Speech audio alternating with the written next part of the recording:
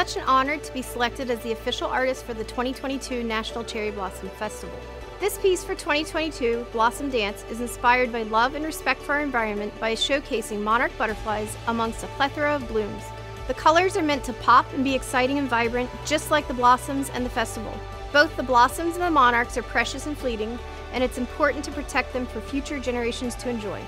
I wanted to include the Washington Monument and the Jefferson Memorial as well, two of my favorites and really an iconic part of the festival. I look forward to sharing this piece with everyone who loves the cherry blossoms just as I do.